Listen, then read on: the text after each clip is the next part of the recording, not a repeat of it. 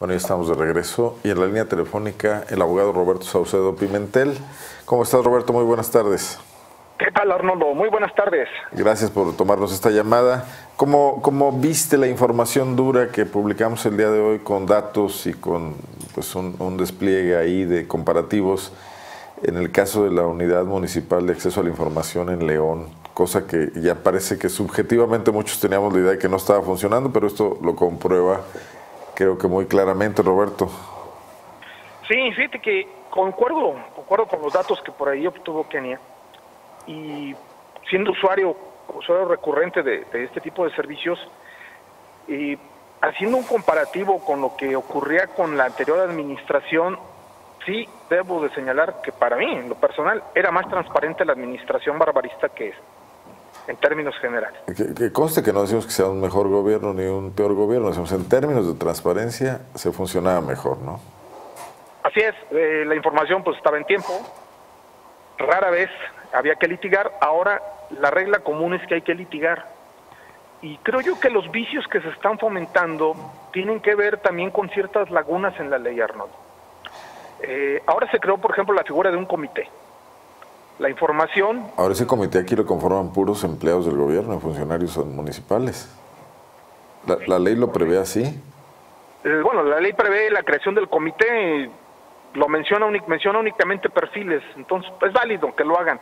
Yo creo que lo que no es válido es que este comité no sea tan rápido en sus respuestas. Eso es lo que nos está afectando. Ahora, en el tema del, de, de los tiempos, eh, una experiencia que también ha, ha, estado ocurriendo es que cuando uno hace una consulta a través de la plataforma de transparencia, hay un plazo que el propio sistema lo va semaforizando. Cuando está en tiempo es verde, cuando ya está en el límite es amarillo y cuando ya se excedió es rojo. Entonces, en las estadísticas que está aportando el sistema de la Unidad de Transparencia de León, vas tú a observar que todas las respuestas están en tiempo pero esto es a través de una trampa que... Pero son unas no respuestas. La respuesta que hace es la siguiente, para que el sistema no lo ponga en rojo, suben una respuesta diciendo su solicitud ya fue generada o, transmitida a las diferentes áreas y en cuanto se tenga la respuesta se la daremos a conocer. Con eso duplican el tiempo que tienen para responder. O lo triplican. De esa manera apagan el semáforo y oficialmente la información ya está pero materialmente nunca llegaron. A la hora que los midan, pareciera ser que están respondiendo todo en tiempo. Y no hay tal. Sí, sí por eso no hay, no hay que guiarnos mucho de las estadísticas. A ver, Roberto, pero esto habla ya de un uso doloso, de mala fe, de los mecanismos de transparencia en contra del ciudadano. Ya, ya no es la, el principio de máxima publicidad. Nos regresamos a los viejos tiempos de las argucias y la manera en cómo te oculto las cosas, ¿no? Desgraciadamente está ocurriendo y lo más lamentable, Arnoldo, es que el actual titular de la unidad, que es el licenciado Nemesio, Tamayo, conoce a perfección el sistema porque fue el secretario general del YACIP en la administración pasada. o sea, el que conoce el sistema también sabe cómo hacerle trampa. Desgraciadamente es lo que yo veo que está ocurriendo porque... Pero a ver, ahí qué pasa, ¿no hay un compromiso del alcalde con el tema de transparencia? Si el alcalde le dijera, oye, quiero que esto funcione, eh, no tendría por qué hacer lo que hace, ¿no? Eh, tampoco veo voluntad en el alcalde. Si desde la cabeza no existe, pues menos, menos este, a los subalternos. Veamos las decisiones que se han estado tomando, se han hecho en lo oscurito. Entonces, la transparencia no es una materia que le interese a la actual administración. Eso me queda claro. Bueno, nos dimos a la tarea también un poco de investigar esto, Roberto, porque estábamos tras el tema de estos apoyos discrecionales que se otorgan desde la Secretaría Particular del Presidente Municipal. Se ha hecho por siempre, lo hacían los anteriores alcaldes, lo sigue haciendo Héctor López. Nos encontramos con el dato de que una de las organizaciones favorecidas la preside la hermana del alcalde. Y a la hora de preguntar qué resultados eh, se han dado a conocer o, da a conocer la organización de Carmen eh, López Santillana para justificar este recurso, el uso de este recurso, nos encontramos con que no hay indicadores, la unidad de transparencia no los tiene y tampoco la Secretaría Particular, y nos traen de un lado a otro. Eh, ¿Cómo ves estas cosas? Sí, sí observé el, por ahí la, insistencia de la, reportera de Alfonsina y también observé la conducta del alcalde, muy evasiva. Eh, yo creo que sí, sí debe de legislarse, Arnoldo. El problema también, te digo, están las lagunas de la ley.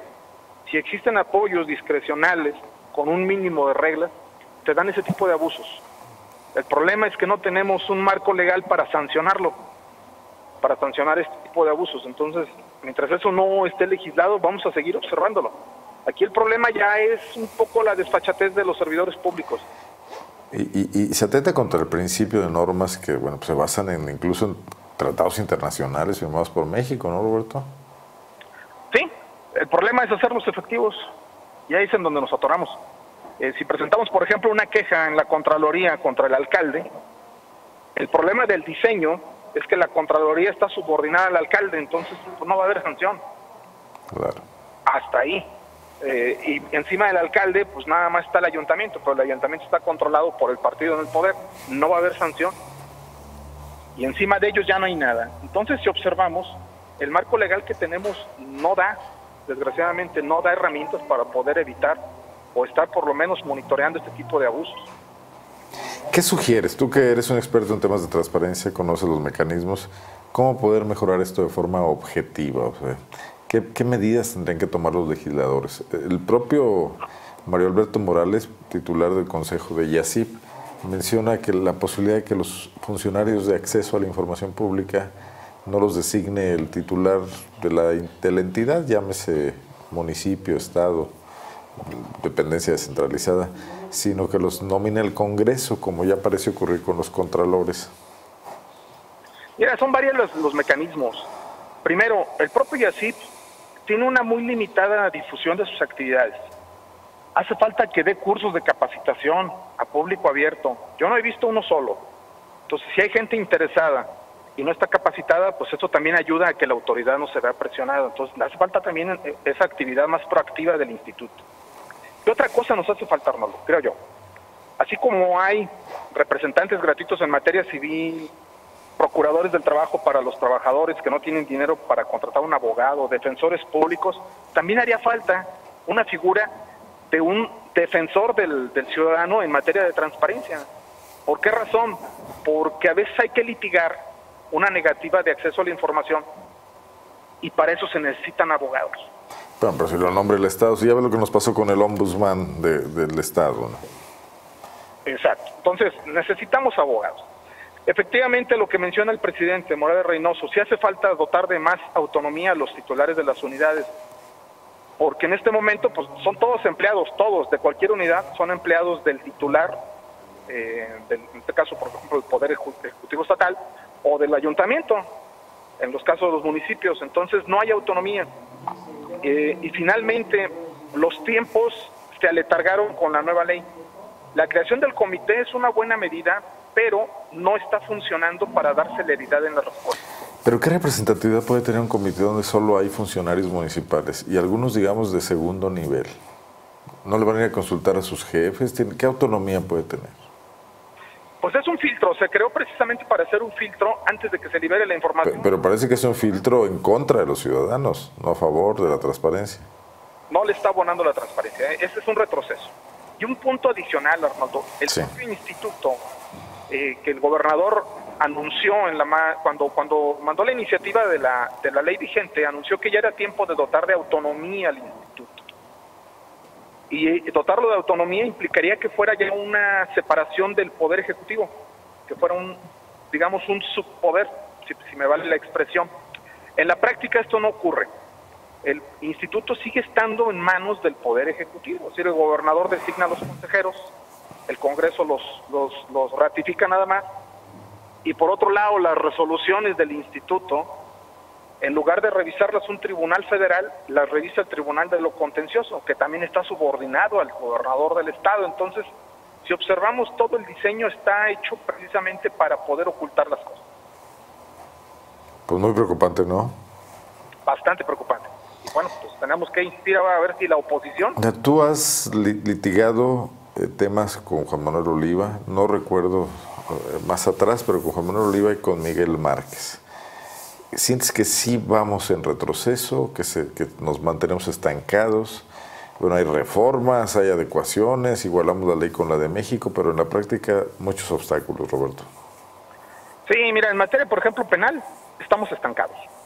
Al día de hoy sigue siendo imposible que un servidor público que haya hecho uso, mal uso de los recursos públicos sea enjuiciado si no existe previamente el permiso del Congreso del Estado.